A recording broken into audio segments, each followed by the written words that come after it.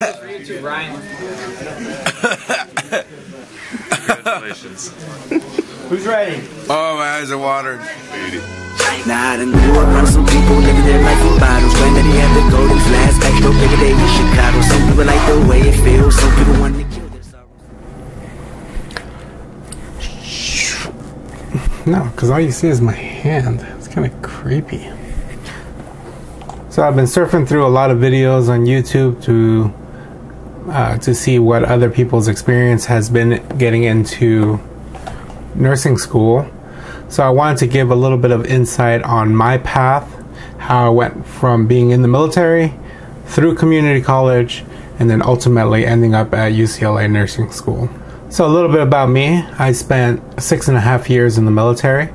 I was initially stationed at Fort Bliss, Texas, and El Paso. I deployed from 2009 to 2010 to Kirkuk, Iraq. I was a combat medic out at FOB Warrior. I did a lot of training. My primary mission was educating the Iraqi nationals, Iraqi police, and Iraqi military on medical interventions. So, a lot of my time was spent outside of the base working with the police, working with the Iraqi military one on one, teaching them skills on how to keep their people alive long enough to get them to a hospital. I did a lot of pre hospital combat care training. You know, when I came back from Iraq, I got stationed at Wiesbaden, in Germany. Uh, while I was in Germany, I did a lot more training. Um, I worked with military intelligence personnel, so a lot of them had no I would say a lot of them had no combat experience. So my primary thing was teaching them first aid, teaching them combat lifesaver skills, and I got flown out to England once every quarter to teach as well. After I got out of the military, I came back to the Valley. So I'm born and raised here in Los Angeles. I came back to the Valley to start working, and unfortunately, nobody took my credentials, nobody took my transcripts or my training. Um, a lot of people wanted a diploma or a certification coming from a California school. You know, one suggestion that I got was go to a private school, challenge their exam, pay the fee, and then you can come work at our hospital. And so when I kind of looked into that, they wanted $3,000 just to take a test, or they wanted $10,000 for a program. And in my thinking, why am I going to spend money on a program or for a certificate on training that I've already received? Instead of pursuing the private school route, I went to community college. I graduated from Birmingham High School 2006. Right out of high school, I went to community college, and in my first semester, I got two F's, a B, and a C. Like, I was not ready to go to school. Uh, after that first semester, I ended up joining the military, and now here, almost seven years later, I'm going back to the same community college, but this time with a new goal to get into UCLA nursing. I'm here in Los Angeles. It's one of the one of the best schools in the area, and UCLA just got named number one public school in the nation. So um, that's where I wanted to go. Six and a half years in the military, and now I'm going into community college. So this is how I set up my schedule to figure out what it what it takes to get into UCLA. Um, so this is one of the first, or this is a few of the first things that I did once I was uh, preparing myself for this transition from being in the military to being an academic, I guess, a full time academic. Well, I went to go see my the school counselors or the academic counselors that are available on campus. Academic counselors are great, but I did. Uh, I don't want to speak ill of them because they do have a tough job. Um, many, many students go through the counseling, you know, the counseling offices, academics, and all that but my experience wasn't that great with the academic counselors. Initially, I went in and I told them what my goal was. I wanted to go to UCLA School of Nursing. And the first academic counselor that I saw just about almost laughed at me. Of course, this was, you know, my first meeting with the counselor. She didn't know my background. All she could see in my transcripts was that I had two F's, a C, and a B. After spending some time with my counselor, uh, explaining, you know, kind of new goals, new mindset, and time to move forward, uh, we set up a student ed plan. One of the biggest things that I can say is create an ed plan and stick to it. To complete all the classes that UCLA requires, just as prerequisites, I already understood that I was going to spend three years at community college. That was that was going to be a given. UCLA requires calculus, requires microbiology, requires organic chemistry. So already given, um, I was going to spend three years at the community college. Not to mention that I still had to redo some of the classes that I messed up back in 2006. So, moving forward, my typical semester, being that this was a community college and they had the semester system, consisted of like two difficult classes and one hard class. And so two two STEM classes and one, you know, general ed class. And then I took a lot of the other general eds that I needed to complete in the summer. One of the biggest things that helped me was assist.org.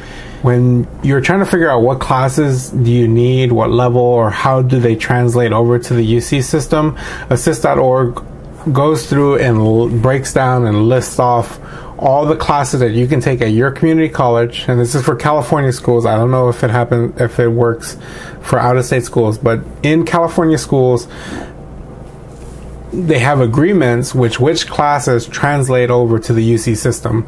So with assist.org, I was able to see which classes that I needed to take uh, that fulfilled the minimum requirements for UCLA nursing school. I will say that one of the biggest challenges that I faced was maintaining a high GPA. From what I understood, and this was going into the process, UCLA required, or UCLA School of Nursing requires you to have a 3.5 GPA going into UCLA um, because they get so many because they get so many requests and they are so small of a school, they only allow 10 transfer students every year and they only do fall starts. So 10 transfer students every year. Um, they get so many applications that if you don't hit that minimum of a 3.5 GPA, uh, your application gets truncated. Now, I don't know how true this is. I haven't gone over and talked with the admissions counselor at UCLA yet to figure out if this is true, but this was my understanding going into it. So, on my last, no, on my second to last semester at Pierce College, um, I had a 3.49 GPA. 3.49. And I didn't know if they take rounding. Um, so my second to last semester at Pierce College, I took a physics course, a physiology course, and a bio for bio majors course. Now, surprisingly enough, those were all five unit courses, so that was 15 units.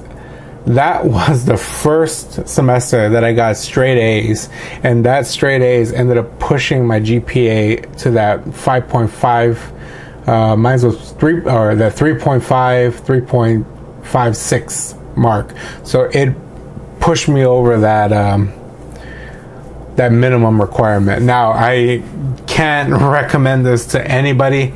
It is completely nerve wracking, especially when you invest everything into um, trying to get into this one program. So that was really everything. Um, but for my final marks, I got a 3.5 GPA. I had completed all of the courses and many of the recommended courses. So the recommended courses were uh, microbiology, um, communications 101, and I believe psychology. And those three classes, I had knocked them out kind of early, and I got an, an okay grade on them.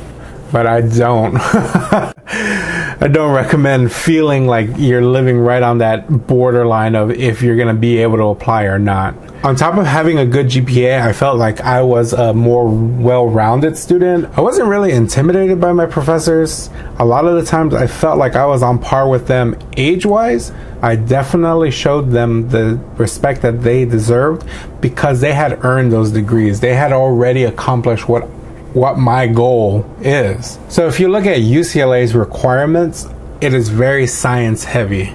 A lot of bio, a lot of chemistry, a lot of math, uh, anatomy and physiology are all really high require like you know you have to get those high grades in those classes because that's where they look at on your transcript So I got really involved with my anatomy and physiology department. My anatomy and physiology department had a lab that had three cadavers. Uh, and after completing my first semester anatomy, I volunteered to be a tutor for the incoming class of anatomy students. And then after doing that for a semester, I became eligible to be a paid tutor uh, and a paid lab assistant. So I was able to work with the cadavers in preparation for the next the next rotation of students. And so I did that. I built my relationship with my professor. I volunteered as a student tutor at our Center of Academic Success. So that's our tutoring center, and I, you know, tutored for two years. I worked as a lab assistant for our professor. I went in on the summers, uh, worked on the cadavers, prepared the new cadavers for the incoming classes. Ultimately, that led to a letter of recommendation, which I used for nursing school. So UCLA requires two letters of recommendation. Uh, one should be professional and one should be academic. So my academic one came from my professor that I worked for as a anatomy and physiology tutor. My second letter of recommendation came from a physician. When I was in the military, I was working under a doc. I maintained contact with him through Facebook. Me and him stayed friends, even outside the military. And uh, when I let him know that I was applying for nursing school, I asked him to be my second recommender. I worked for him for three and a half years. He, you know, we knew each other personally and professionally, so I really trusted that he was going to be really a good person for me to seek out a recommendation from. So that really covered my two recommendation letters. Next came the application. now, the application process was definitely intimidating. UC requires you to write three statements, like three, there are three prompts. Well, there are like seven prompts, but you have to write essays for three of them, and they all have to be a little bit different. But then on top of that, the School of Nursing requires you to write a personal statement.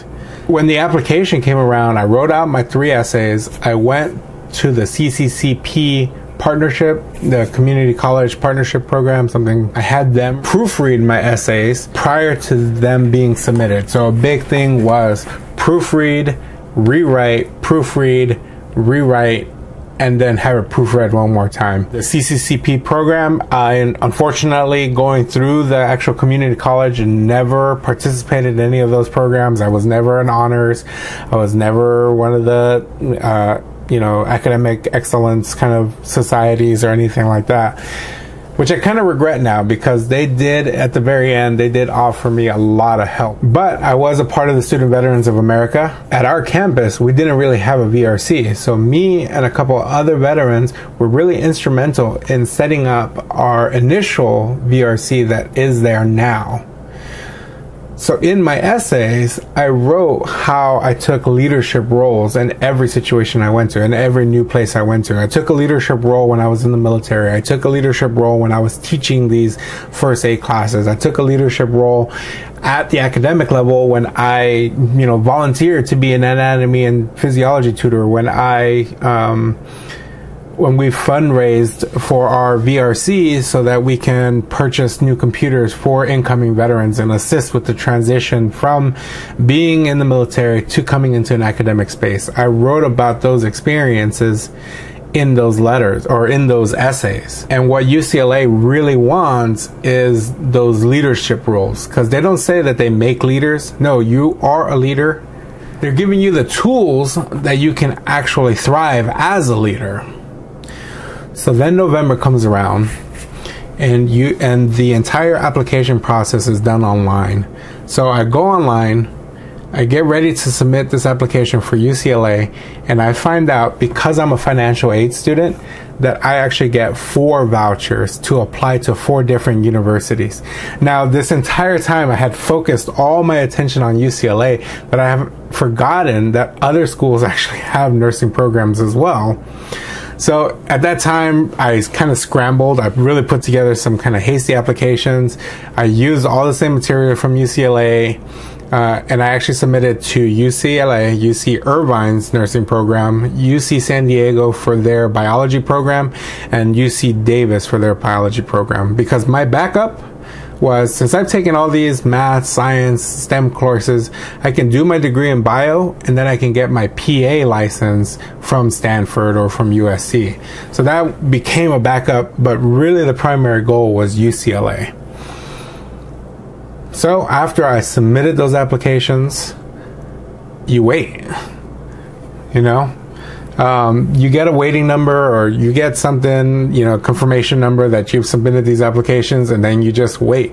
Especially for UCLA, because UCLA has a second application process. So even though you submitted the initial application to get into the school, the School of Nursing has its own application.